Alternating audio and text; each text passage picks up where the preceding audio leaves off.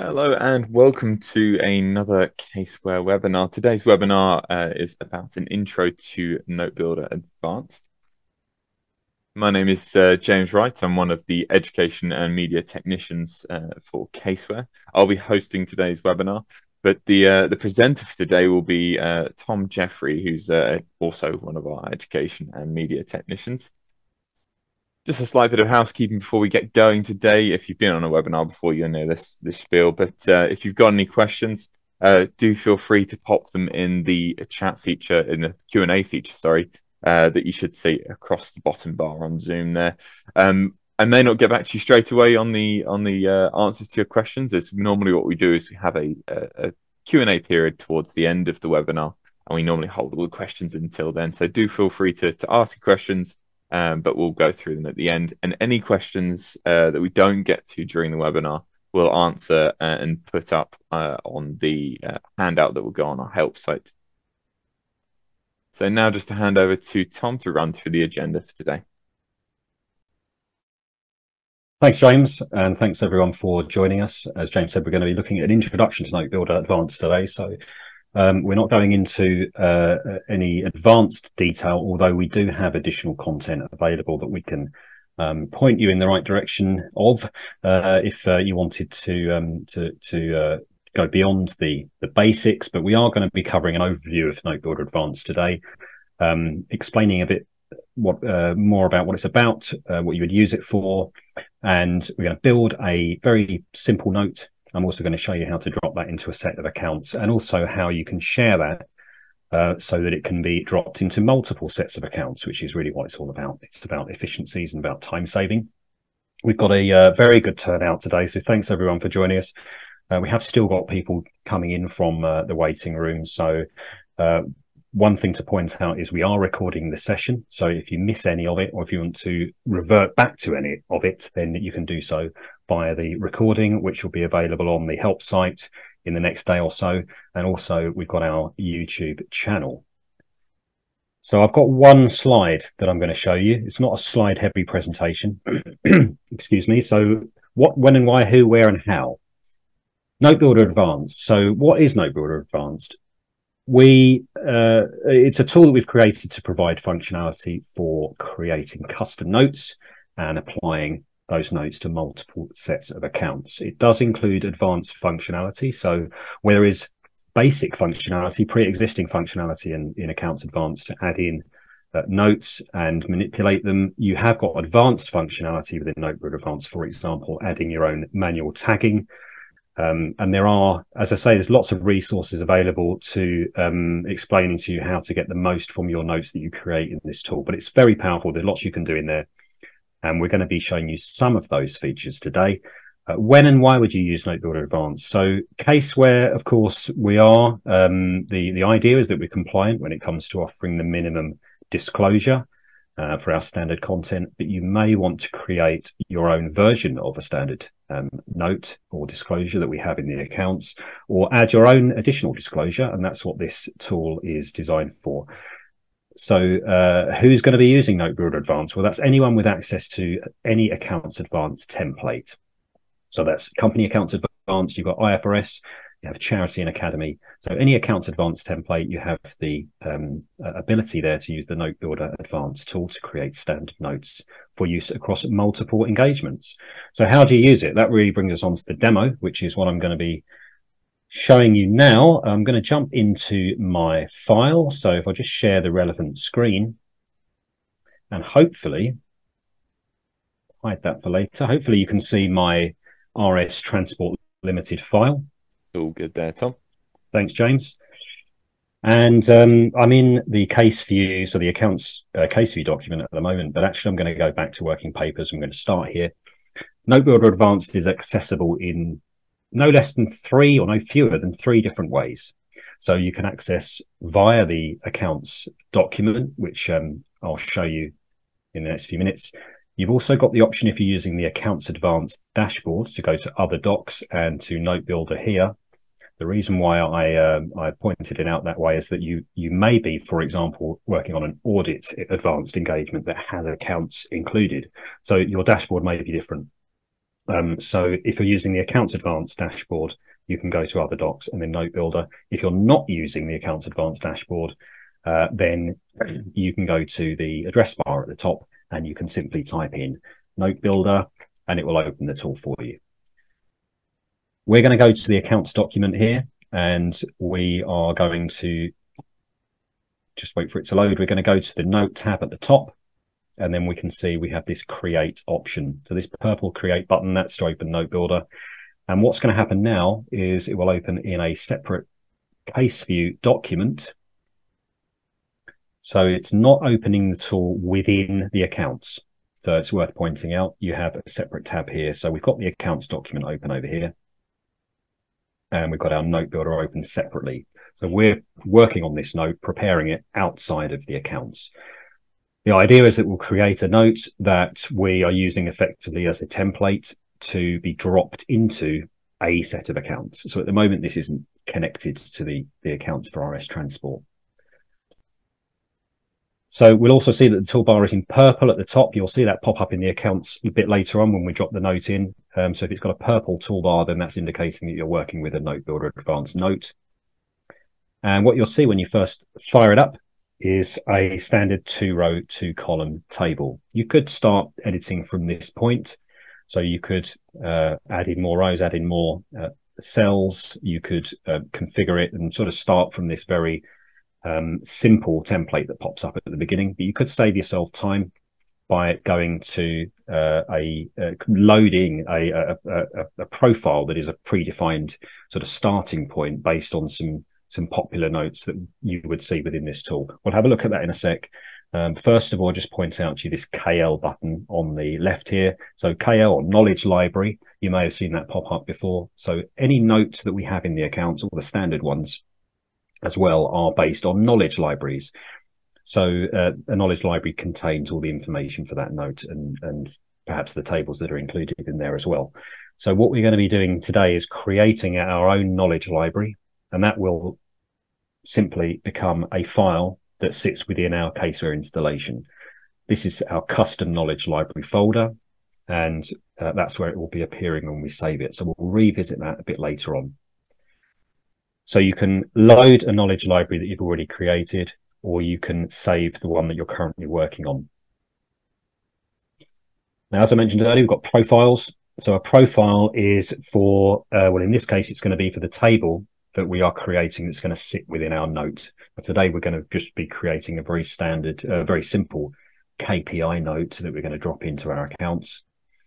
And uh, again, if you're working on a table here and you want to save it as a profile that you can drop into other knowledge libraries, you can do so. But today we're going to be using the load option to load in one of these pre-built templates, which will save us some time because some of the work has already been done for us as you can see here, going into the load config, you have, we've got nine different options here. So you could load in this uh, tangible, we've got a couple of tangible fixed asset note um, layouts that's already predefined within the product. We've got one there for charities and academies. We've also got some um, some group, excuse me, some group notes, um, a few SOFA uh, notes there. Again, we've got charities and catering for charity and academy disclosures. Subsidiary undertakings is quite a popular one. Um, but the one that you will find is uh, really versatile and excellent starting point for a lot of new notes that you're creating. And the one we're going to use today is the basic two column note currently a prior year. And you can see a preview of it at the top there. So if we confirm, that's going to load that in for us. And um, what we can see is we've got um, multiple rows for inputting our road descriptions. We've also got our current year and prior year columns currently including input cells. So if we saved this out and built it into or dropped it into our set of accounts as it is, then that's what it will look like. Um, it will it be expecting you to put in your row descriptions and put in all your figures manually. So what we need to do now is tailor it to have the right behavior, to the right formatting, and then that it's pulling the figures that we want from the right places. So the tailoring starts with, oh, it's also worth pointing out that the formatting here is um, mirroring this. Uh, another versatile element of this note is that it's, it's, mirroring the formatting that we have in the uh, standard accounts. So you, we've got the correct indent, we've got the correct uh, layout for the underlines and that sort of thing. So we'll start tailoring it by going to the configure option here.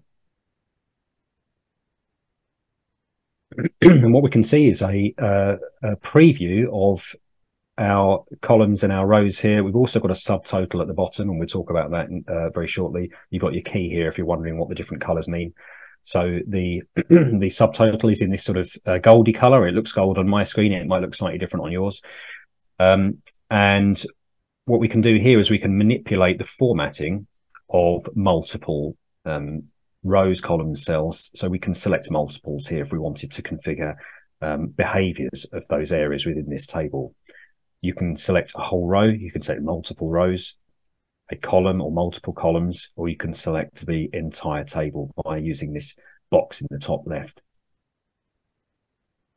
We can also insert or delete rows, which is pretty self-explanatory, but we will point out that if you have, so for example, if we populated this first row and then we um, we had uh, we decided to highlight it, say I highlighted that first row, and then I wanted to insert a new one, it's going to um, mirror what was populated in that initial row that we'd selected. So you'll have the same description and the same um, calculations for the way that the figures are populating. So it's worth just double checking that you're not duplicating disclosure within your table. In this example, we're going to uh, reduce the number of rows that we're using here, which I'll do in a moment, but you can also do the same for inserting and deleting a column. So if I clicked on, let's just close that for a sec. If I wanted to insert a new column after column B, if I clicked column B and then insert and then confirm, you can see as with the uh, uh, what I was explaining with the rows just now, it's duplicating what was in that column B that I selected. So we've got two lots of 2022. Um, it's duplicating the uh, header for the currency and it's duplicating, it would be duplicating everything else um, in the cells below. The only area that's not going to duplicate is the subtotal here. So talking of subtotals, if you wanted to see what makes up your subtotal in your table, then you can select your sort of gold subtotal there, and it will highlight all of the cells that make up that subtotal. If you decided you wanted to perhaps take one of those off, or just define which of those cells make up that subtotal, you can do so here. You can reselect if you want to with our new column C, we can select here. Uh, actually, I just need to use this little X over here in the top right just to remove my selection.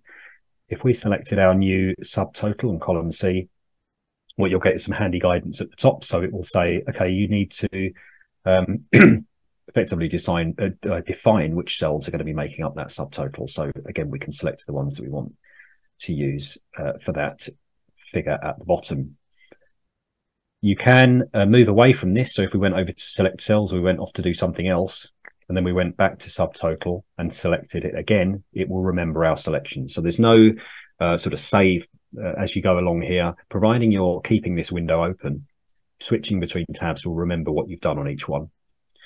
Um, we're not going to worry about this column C because that was just for demonstration purposes. So actually we want to delete our column C. So we're uh, left with our sorry, into columns would help if I selected the right uh, menu. But if we go to our column C and we select delete instead and confirm, we're back to our current year, prior year. We've also got our roll forward option at the end here. So our standard content in Caseware will be rolling, is designed to roll forward your current year figures into the prior year column when you roll the file forward. So you can define that behavior here as well. So again, you've got some guidance at the top. So click on the cell in the table below to roll forward to. So we would want to roll forward to, for example, C4 for our prior year figure there. And then you've got your guidance at the top here just to confirm selecting the uh, the origin of the, the data that you want to reach that cell. So of course that would be B4. And then again, you can move away and you do do other things within the table here and you can return to roll forward. If I was to, to, to select C4 again, it would remember that uh, I've designated that it rolls forward from, from B4 to C4. You can, as it uh, says uh, here, to delete this link, you can deselect the, uh, the, the cell that we've currently selected, which is the B4 Um, and then we can select C4. So we've removed that behavior. So what we're going to do, we've returned to our selecting cells and we'll, as I sort of mentioned earlier, I think what I'm going to do for this example is we'll go with four rows. So I'm going to delete some rows here. Just keep deleting those until we have the four left that we need. There we are. We don't actually need a subtotal in our KPI note, although I am going to leave it there for this example to show you some formatting options a bit later on. So we'll leave that there. So we're actually happy with our layout of the note now. And then once we've um, uh, confirmed that, that that's the layout we want, the next step that I'm going to follow here is to define what uh, how the, the figures populate some of the cells there. Now I'm going to populate the first three rows with figures from our mapping or from elsewhere in the file. I'm going to leave the fourth one as an input because I'll show you an example of something else a bit later on. So we go back to our select cells in the top left and we can select the six that I want to edit and confirm. Once you've confirmed, you've now got your options here for um, determining how those cells are behaving. So we have for example, inputs here, which we're going to go back to in a second. Uh, we can flip the value if it's appearing on the on the note um, if it's not appearing as expected. So, for example, if it's a minus when it should be a plus, how do we want zeros to appear? Um, so we've got uh, a dash by default, but you can have it showing as a zero or blank. And whether it's an alphanumeric cell or whether it's a, a date, you, you've got uh, that option there as well, plus many others. We have got some uh, an overview of this menu in our Getting Started guide, and that's something that we can share with you um, as part of the follow up. But what we're going to do for these this uh, the selected cells here, the six, is we we actually want to remove the input here, so we want to set it to off. Now, if you've selected the wrong cells, or you've uh, you want to go back to the table and do something else, you have this table configure in the top left so back to table configure. If you select confirm here, it's just going to close this screen and then you'll need to reopen it again.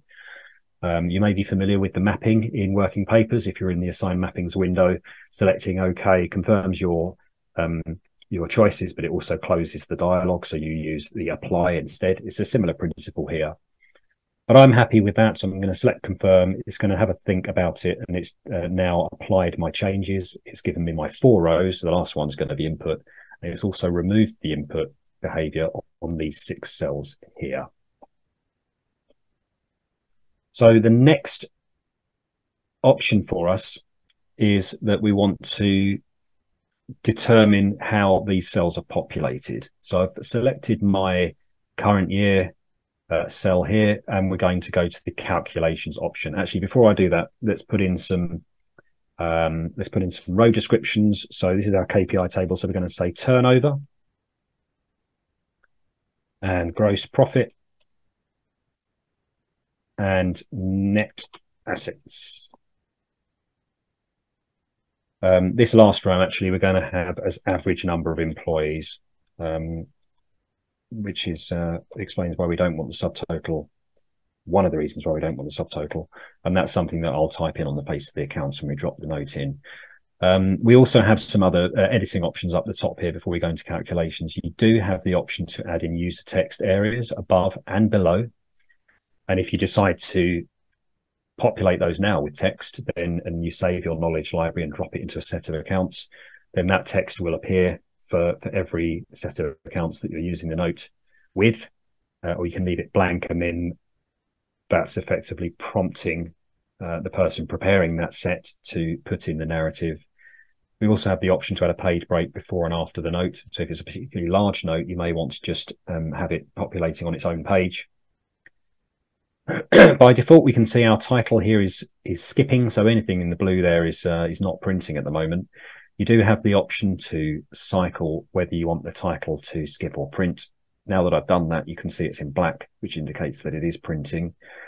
We have got a number there. Now that number will be defined based on where the note lands in the accounts.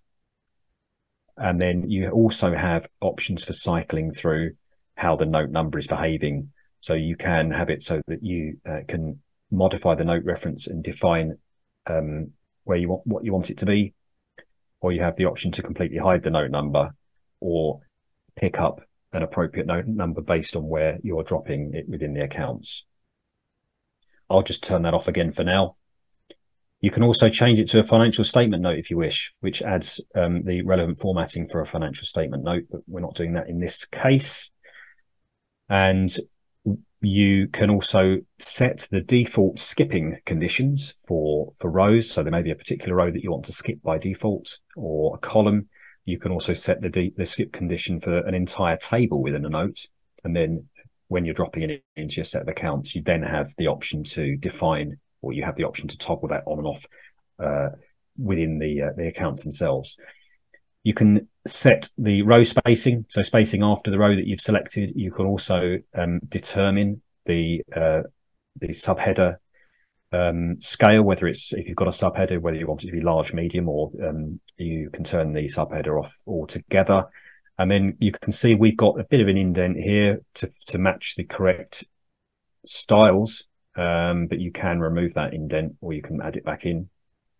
And finally, which is not something we're going to go through today, but it's worth pointing out, you do have the option to attach a taxonomy to the note and manually tag. But back to our, stand, our simple note here, we're going to select our current year and go to calculations. Now the calculations screen looks very similar to the configure screen that we were in before. Configure screen really is designed to um, allow you to uh, uh, determine the behavior of um, the the note and in terms of its formatting and its layout uh, and the presentation. Whereas calculations is allowing you to select one cell at a time to determine how the figures uh, will appear. So where they're pulling from. Um, we're going to be using mapping today for a couple of the rows. So using this example, you've got the option here to add in uh, additional rows and columns and, and look at your subtotals and roll forward as before. But really, we're just going to be focusing on how to populate these cells. So I've selected my turnover and I'll hit confirm.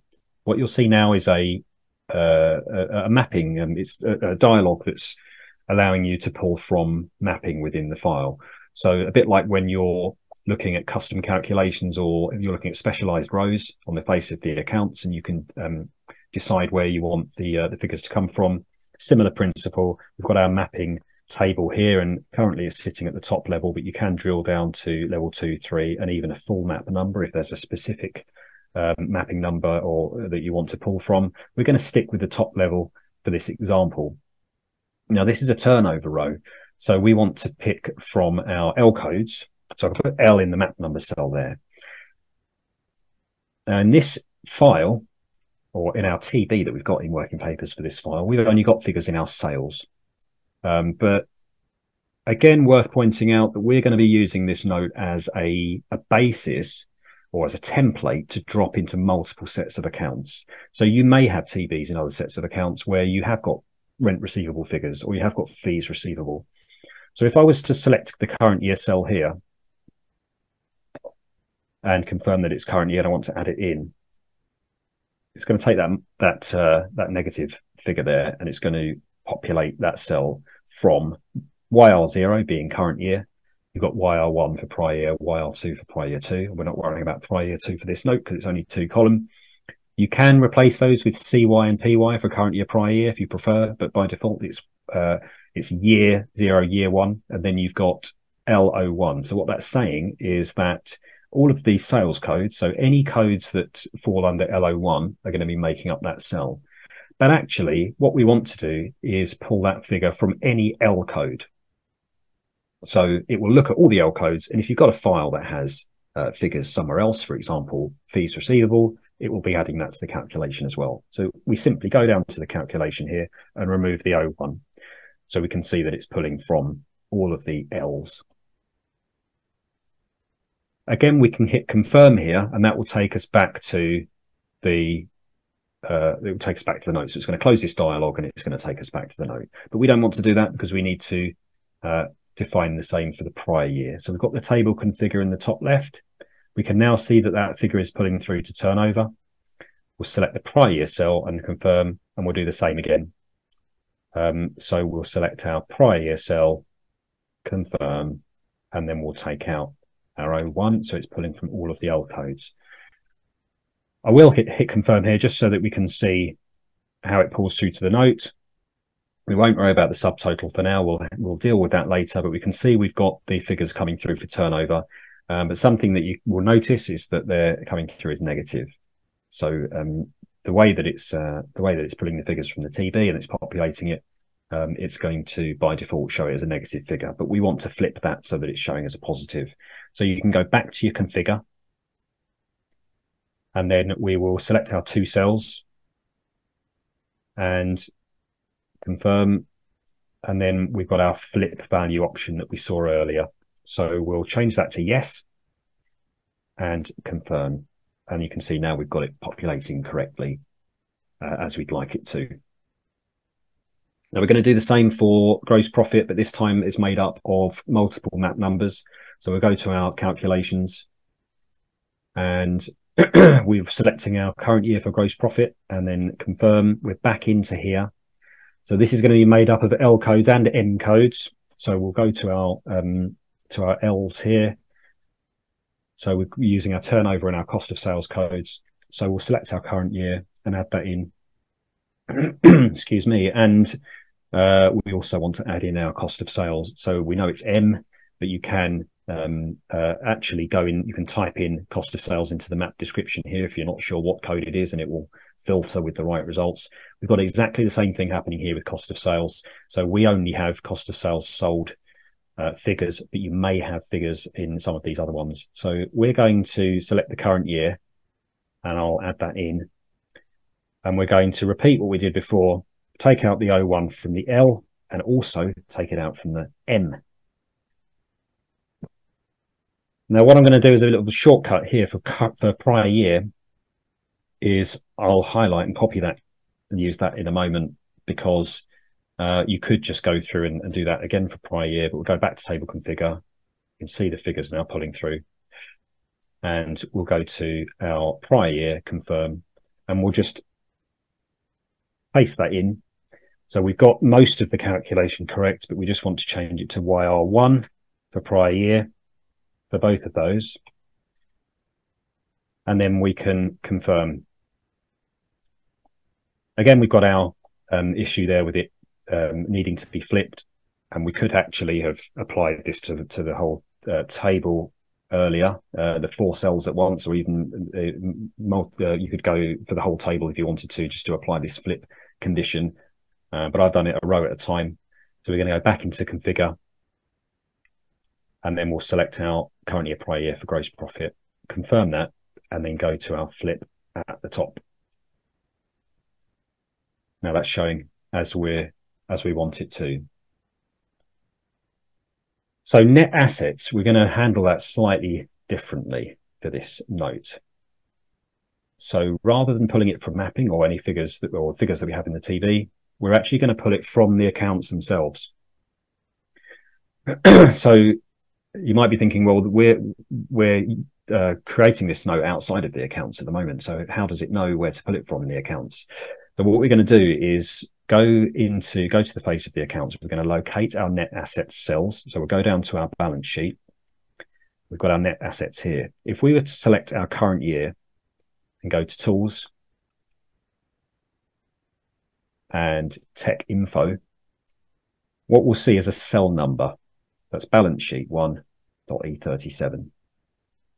And if we go to our prior year, tech info, bs1.g37. So we're going to make a pretend I'm making a note of those. And I'm going to go back to my note builder note. I've clicked on net assets for the current year calculations. Confirm that it's the current year that we want to edit. Now, instead of um, choosing map numbers from here, I'm actually just going to go straight down to my calculation field at the bottom and type in bs1.e37. And that's seeing that as a calculation. It's worth pointing out if you if I was to put it in quotation marks, then that's that's literally what it would put in the table. So the cell would say bs1.e37. Um, so we'll take those out and we'll leave it as the calculation there. And again, we're going to go back to table configure rather than closing this, this box and go to the prior year. You'll notice the preview hasn't updated. And the reason why is uh, the calculations there, but this note isn't linked with our accounts document. So it doesn't, it can't see that cell at the moment. What will happen is when you drop it into a set of accounts, it will then look for that cell reference and then populate the figure. Um, and that's what we should see a bit later on when we when we save our note and drop it into our accounts. So we're going to go to prior year and we'll do the same here. So BS1.G37 and confirm. So that calculation is there, but it's not updating at the moment because it will do when we drop it in, as I said. So um, we've got our average number of employees row. We're going to leave that as input and we'll pop those in uh, a bit later on. And yes, we've got a subtotal here. And, and uh, you might be thinking, well, it doesn't really make sense because we're we've got our average number of employees a row in there, and, and we have we you may be making a note that has rows that you're not totaling up. So in our configure, um, you would, you know, one op one option would be to remove that row entirely. Um, but what I've done is I've left it in just to show you, um, just to go back to the skipping row um, condition button that I was mentioning earlier. So you can cycle this skip row button between print skip or skip if zero. So we can keep clicking that until the subtotal shows in blue, which it does. So that means when we drop it into the accounts, that will skip by default. You can also do the same for your underlines. So I've skipped that now. So as it stands, all you'll you'll see um, is turnover and gross profit. You will also see the net assets printing because that will populate once we drop it in. So that's all the editing we're going to do on our note uh, as it is. So the next step is to go to your KL button and we're going to save our knowledge library. I'm just going to call it KPIs. You have got quite a large box there to um, populate it with a name of your choosing. Save that. And this is going to save it outside of Caseware initially.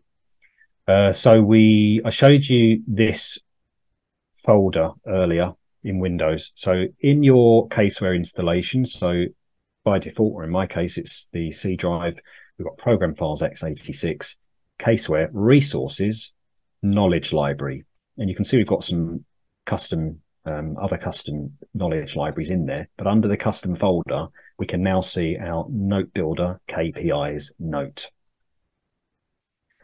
Now I've already got, got the accounts open. So if I was to go into accounts and I say I wanted to go up to my uh, key performance indicators up here, and I wanted to insert my table note that I've just created, I'd go to add and I'd expect to see it under user defined, but it's not there. Now, the reason why it's not there is because I've already got the accounts open. We've saved the note builder note outside of caseware for now. And what we need to do is establish that link so that uh, CaseView knows that that note exists. Two ways of doing that. You could uh, save and close the accounts and reopen them, and then it will then uh, uh, recognize that that note is there for you to add. The other option is you can do a bit of a refresh on the toolbar. So you can go to tools and you can go to knowledge library update. And this will prompt to freeze the section that you've selected to check for updates. Now, you may, if you haven't updated, um, perhaps if you've installed the latest EPAC, but you haven't applied all those updates, you might see that there's a big long list here of stuff that you're worried about taking because it might be content, but it will also have some functionality mixed in there as well. So you could, uh, you may have some, for example, mandatory tags or um, right click menu updates, things like that, that keep the software running as it should be. Um, that really, uh, in this case, I've taken those updates, but we do have toolbar and style bar and header updates that will always pop up when you when you choose this option. Um, but actually, none of that's relevant in this case because we don't want to take any updates at all. You can deselect the whole thing. What will happen here is we'll deselect all and select OK. And rather than us prompting CaseView to apply updates, it's just going to have a little bit of a refresh. So it's establishing where we haven't selected any updates to take, so it's not going to do any of that but it's just refreshing. Uh, it's finished executing script in the corner there. And what we can do now is we can go back to our note tab at the top, go to our add, and you'll see this user defined option is now there. And we have our custom KPIs note. If I drop that into the file, moment of truth, you can see it's pulling in those mapped figures as we defined when we were building the note. But it's also pulling out net assets because it now knows where those BS1.E37 and G37 cells are. The way that we've created the note, of course, we've still got these as blue input cells. You could actually change those to not be input, so they're just predefined rows. Um, and again, we've got some uh, bits of, of, formatting and tailoring here that we could tidy up. Um, now, what you'll notice when you select within the note is that your toolbar at the top will turn to purple. That's to prompt you that you're working within a Note Builder advanced note. So you have got lots of other editing options that are available to you throughout the standard content. So for example, you've got your title and note number options. So I can define how I want my title and note number to appear. But it's worth pointing out that any of those amendments that you're doing here are just for this set of accounts. Um, if you want to change that behavior as a standard for that note, then it would be a case of going back to Note Builder Advanced and then uh, amending your knowledge library. You've also got table options within here. So if you go to the table tab, it will look different to the table tab that you usually see because it's going to be mirroring the options that are available to you within Note Builder Advanced for editing the table. You can see here, it's just confirming that that's a Note Builder Advanced note. You can go into calculations and you can change the indent and you can uh, amend things like skip conditions. Again, that's just for this note as it appears in this set of accounts. So if I was to change the indent here, if I didn't like the indent there, that's fine. I could remove it. But the knowledge library is still retaining that indent. So you need to go back and uh, update that. And then you could drop it again in the file and it would give you the new version.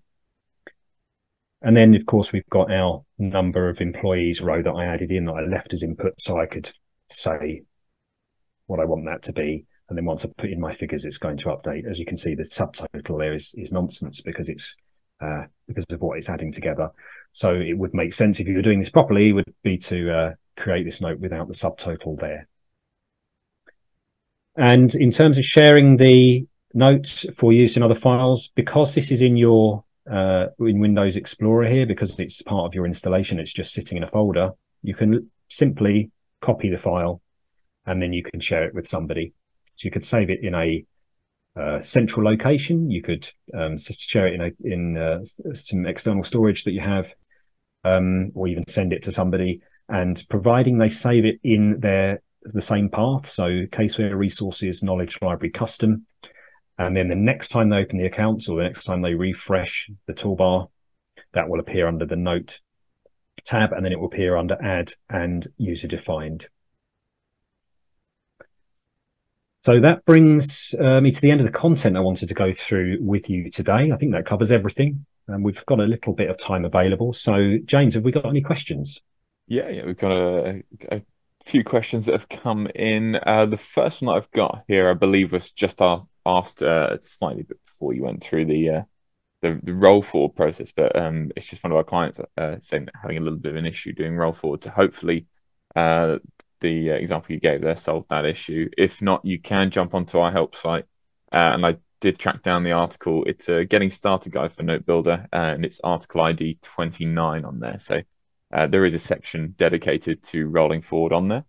Um, another question that we have is can you remove the indent on uh, the title itself? I believe that might be to do with you might have to remove the um, the note number as well for it to shift the title over, but we'll just give that a go on cool. Yeah, so we've got the um uh, so on the note reference here, so if you wanted the insert title here to appear indent uh without the indent, so without the the number, is that was that the question? Sorry, yes, James. yes, sorry, yeah, that's that's the one.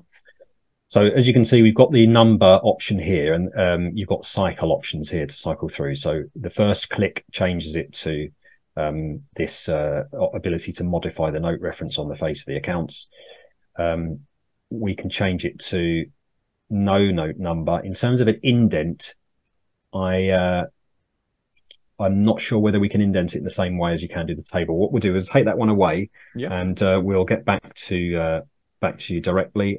we're also going to be using the uh, we're going to be adding a Q&A document, aren't we? So I think we'll add it to that one. That's fine. Um, another question here. Uh, how do I remove a subtotal uh, that I've input incorrectly? So if we go into, so if you've sort of defined the subtotal incorrectly, um, we can go into our configure option here. And then if we go to the subtotal tab at the top, uh, we've got our subtotals at the bottom here. So if you've defined a subtotal incorrectly, so let's say I'm selecting this one for the current year. Let's not worry about the contents of the table at this stage, but um, if we did want to, I mean, um, uh, there's all sorts of permutations here, but if we did want to um, retain this subtotal, and of course not include the average number of employees or anything else that wasn't relevant, then you can just deselect the cells. So you go into here and then it will, when you select the subtotal, it's going to show you this, the cells that make up that calculation. And then you just deselect or select accordingly. Um, if you wanted to remove the subtotal entirely, um, then you would uh, just deselect everything that makes it up. Um, and then uh, you can, so as it says here, to deselect, to delete this subtotal, deselect all currently selected cells in the table below.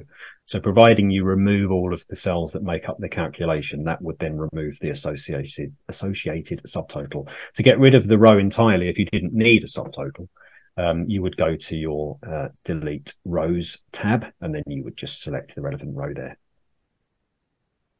Thank you. Um, we've got another one here. Uh, is there an option for creating a report section rather than notes? And uh, I think it's also good to specify, depends on the kind of report you're looking for, as we have options for making custom content for uh, things like the audit report. Um, so if you're going down that route, obviously jump on the help site, check out the uh, custom audit report guidance there. But if it were just a like a, a completely custom report that a client wanted to um, to insert, is there a way to do that? Mainly just text based. So you can create your own custom, um, but you can add in your own custom text here. Um, if it's for reports, then actually we do have specific guidance for uh, the different reports within Accounts Advanced. So we have got a guide on the custom uh, audit report, custom directors report, strategic report, and so on. Um, so uh, that would be something um, that would be, uh, I think, if you're creating your own report from start to finish and you wanted to use that in every engagement or in multiple engagements instead of the standard disclosure, uh, then um, we can we can forward you the specific guidance for those. So please let us know if there's an example, if there's a particular report that you had in mind, and we'll uh, forward the correct guidance over to you. Perfect. Uh, yeah, unfortunately, we don't have enough time to answer all the questions that are remaining on there, but we will stick together a uh, Q&A handout document uh, that will be popped on our help site. Um, you can look for this webinar in the next couple of days or so, uh, just under the webinars section, um, and the, the link will be there. If you do have any questions or queries in the meantime, um, do feel free to use our support team as well. They're happy to help uh, and they can uh, help you just customize your uh, note builder notes within reason, obviously, uh, um, over a call. Uh, so what what I'll do is I'll just steal the screen off of you there, Tom, and we'll go through the outro section. Perfect. Okay. Wonderful. You should be able to see my screen now. We've done the questions. Uh, just uh, in regards to any uh, upcoming webinars, do head to the caseware.com uh, forward slash UK uh, forward slash resources forward slash events page there. Uh, alternatively, just go to type in caseware.co.uk. It will redirect you to the main site and select the resources tab there for events. Uh, you can sign up to any of our upcoming webinars. I do believe our next one's on rounding, I believe. Tom, correct if I'm wrong. Yes. Um, but we're we've got quite a few uh, scheduled for the, the upcoming months, uh, so do feel free to join us on those. Um, we also have a LinkedIn page. That's a separate one from the Caseware Caseware uh, main page. It's the client services, so we focus on all of the education uh, content we can provide you. Um, so you can cut through all the uh, the other marketing governance and just focus on the training if you want to do that. Give us a follow there. Uh, we also have the client services YouTube channel as well, and that's where all of our quick vids uh, and guidance is uploaded, as well as any of these webinars. There's a webinar playlist on there, so feel free to to take a look. Perfect. Uh, finally, on here is the uh, uh, the help site help.caseware.co.uk. You have any uh, issues, you can just type uh, your queries into the search bar on there. Alternatively, use the uh, the, the, messenger feature to talk to one of our um, live support representatives there. Perfect. That brings us to the end. thank you from all of us at Caseware, and hope you have a great day. All the best. Thanks, everyone. Take care.